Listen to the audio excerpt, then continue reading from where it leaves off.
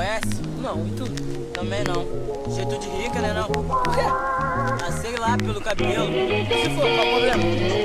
Problema? Né? Já viu rico namorar pobre?